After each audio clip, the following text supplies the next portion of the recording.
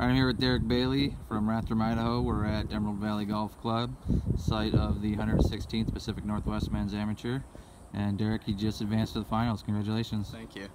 Tell me a little bit about today. You're pretty pretty solid front nine, making birdies all over the place. Yeah, no, it was it was really nice to get off to a good start, especially in a semifinal match where you're, you're just one away from the final. So, uh, birding my birding, birding six out of my first seven was was pretty crazy, and it really put Josh in a bind.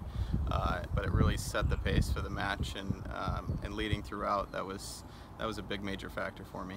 Yeah, Josh fought back. Uh, he it, managed to get all the way to the 17th hole. What were you thinking on that uh, back nine when you started? started yeah, no, I, I, knew I just had to play my game, and I was in a similar situation this morning against Edwin, and uh, and I did a, a, way better job this afternoon, uh, sticking through it, sticking with my game plan, and, and just hitting hitting golf shots. Because at the end of the day, that's that's kind of all that is. All right. Well, yeah, obviously you've been playing well this week. Uh, one 36 hole final away from being champion. Where, where have you found success on the golf course this week? What's been the key? Yeah, no, I mean, I really like the front nine out here.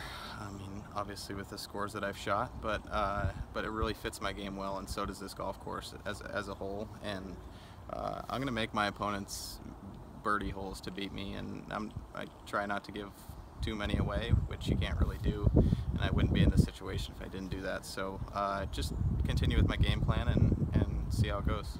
All right, sounds like you got a solid plan of attack tomorrow. We uh, wish you the best of luck, and we'll, we'll see you then. Thank you.